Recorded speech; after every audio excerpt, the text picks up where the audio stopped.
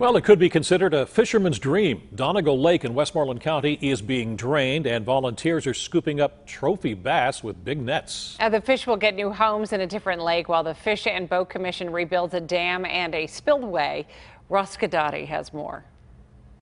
Today is the second day of operations trying to get as many fish out of Donegal Lake as they can before construction begins. And the fact of the matter is they were very busy because there are a lot of fish to be recovered. Formerly picturesque, Donegal Lake is really nothing but a mudflat now, but where there is still water, there is a spectacle to behold.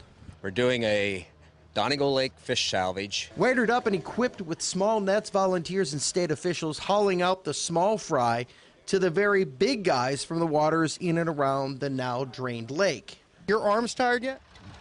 No.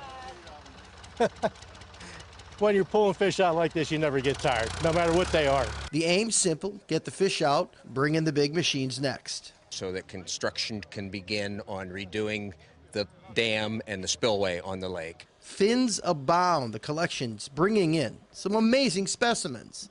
Very impressed. Impressed with the numbers, the size. This largemouth bass is incredible, and any fisherman would be blowing up his Facebook page if he landed this walleye. But we probably moved, uh, with the carp included, uh, probably 3,000 pounds. Fishing, this is not. It's more like a big aquatic roundup, pushing the perch and the other breeds to barriers.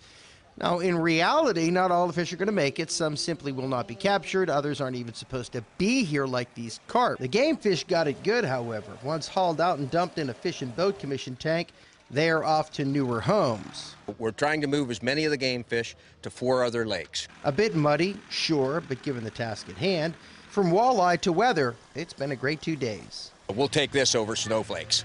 Now, if all goes as planned, the construction will be done by 2018. They'll be restocking, and by 2019, anglers can go and try to get the fish again at Donegal Lake, Ross KDKA TV News.